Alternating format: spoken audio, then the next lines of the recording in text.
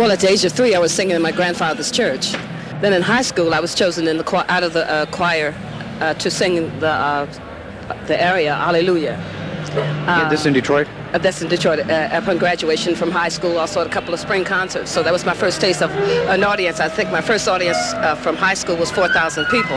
Then I went uh, after high school. I, I had a uh, the occasion to sing on the weekends at a nightclub, and Mickey Stevenson from the A&R department came in uh, to see what was happening with the amateur show, and told me to uh, gave me a card, told me to come to Motown.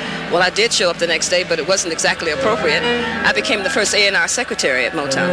And Now you say A&R, that means? artists and repertoire. That's where all the artists go to get their material, and where the producers work hand in hand with the artists. Yes, you became their first secretary at Motown in that capacity. Yes, in that capacity. And one of my favorite things was calling people like Marvin Gaye, who was a session drummer at the time, for sessions. And uh, I had a chance to uh, to book uh, my, my fellow uh, singer, singing mates, the Delphis, Rosalind Holmes and Annette Helton, the two ladies that are standing over there. Uh, we're the original group, and we started in 1958. So uh, we're back together after all these years. Where did the Delphis come from? The name? What was the name? It means friendship in Greek. So you're a secretary at Motown. Mary Wells, due to union problems, doesn't come in. And they think Martha Reeves is out there. She's done pretty well on the way. Let's give her a shot, right? Yes, and then when uh, the Andantes with the regular backup singers weren't together, I called Rosalind Holmes and Annette in to sing behind Marvin Gaye, our first background project, and it became his first uh, number one single, Stubborn Kind of Fella, Hitchhike, Pride and Joy. Heat Wave was a song that Holland Dozier Holland came up with after Come and Get These Memories. It's about the same time that the Supremes were having Baby Love and a few other of their hits that Holland Dozier Holland wrote.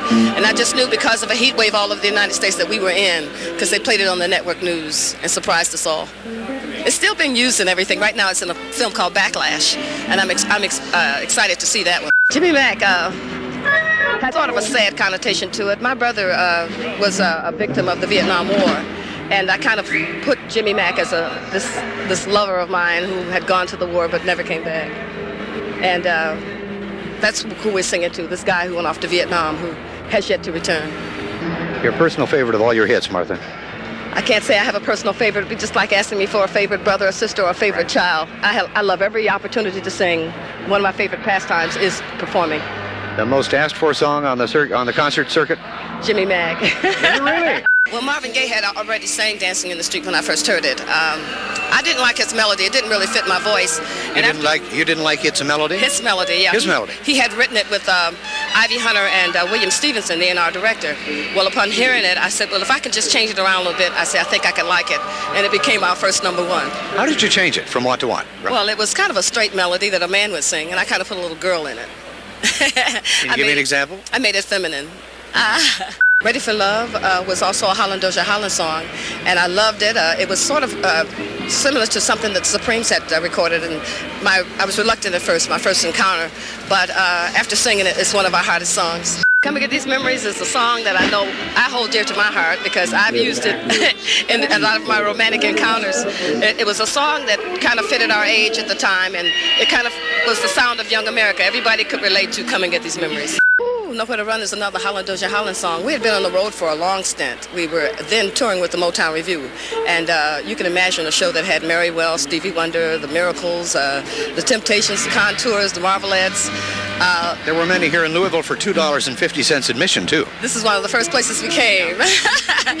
and uh, on a tour like that, uh, we were kind of tired coming off, off off the road, and it just fitted the occasion. I think the the uh, feeling that I had on that song explains how I felt that day after going on the road and coming back in. And, and uh, we were always scheduled for something. I think it kept us out of trouble.